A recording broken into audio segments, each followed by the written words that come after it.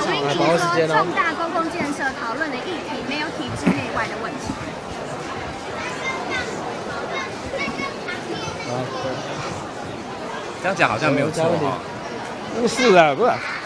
通通常体制内可以解决，体制内解决是通通通常是这样嘛哦，是体制内没有办法解决，才需要外面搞陈抗来搞什么？那那如果在体制内可以解决，就在体制内解，更何况你是体制内的人呢？